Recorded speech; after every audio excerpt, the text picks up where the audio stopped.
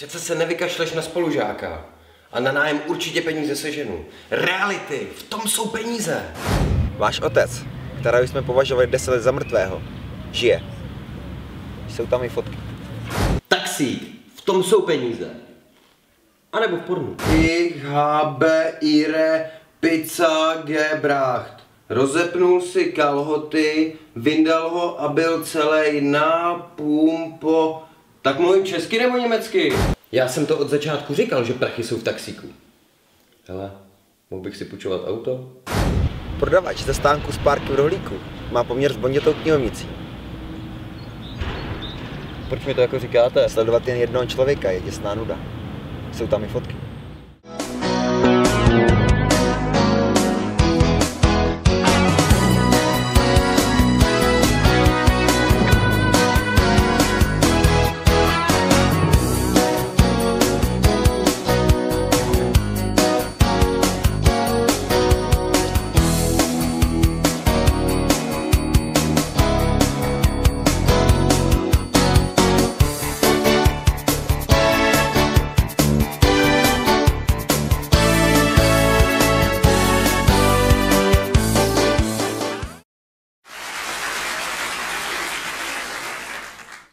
Slibuju, že tenhle týden ti to všechno vrátím.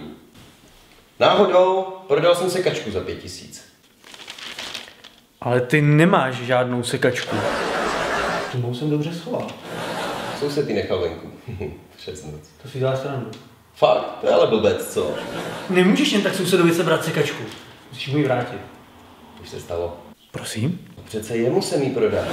Natřel jsem jí, aby vypadala jako ty mrňavoučký německý tančíky, co si tady o víkendu patláš. A jemu jsem řekl, že to je dovoz z Německa. Aha, takže teďka vypadá jako tam v Wehrmachtu. V čem? Se běž sám podívat. Zrovna seká zahradu tomu starému Polákovi. Jezdí si tam, jak kdyby mu to patřilo.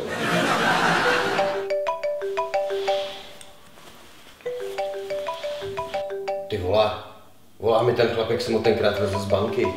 Měl na hlavě masku, tak jsem myslel, že mají firmní maškarní večírek. Pak jsem kvůli tomu musel na policajty. Co? Určitě je zase někde maškarní.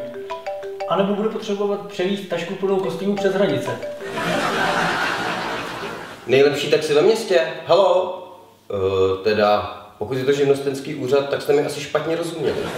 Nazdar frajere, tady Kropáček. Potřeboval bych takovou laskavost. Myslíš, že by se mohl postarat o malýho Péťu?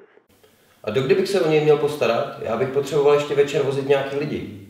No tak samozřejmě se o něj postaráš, dokud máš čas, ne? Tak zatím. Tak mám prý pohlídat nějaký dítě. Nazdar. Malýho Péťu přivedou za chvíli. Šel se projít ještě s jedním kolegou, aby zjistili, jestli se nerozmluví. Nerozmluví? Jo, on nemluví. No jo, to znám.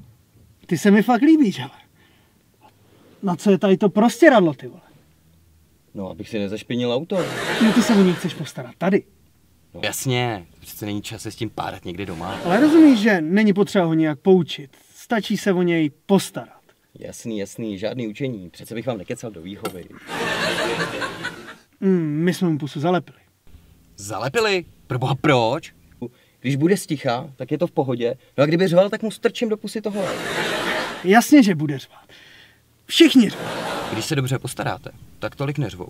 Nebo když se o ně postará někdo, koho dobře znají. Třeba když se má postarat brácha o ségru, tak to jde vždycky úplně hladce. To jsem v životě neslyšel, aby se musel brácha postarat o svoji ségru. A na co jsou tady ty medvědi? Když se mám o někoho postarat a je to na díl, třeba na několik hodin, Tak jim začne být smutno. No, tak jim dám tohle a je to.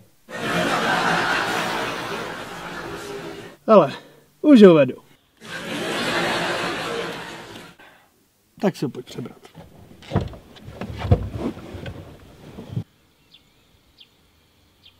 Co to sakra je? Malej Péťa, asi chápeš, proč mu tak říkáme.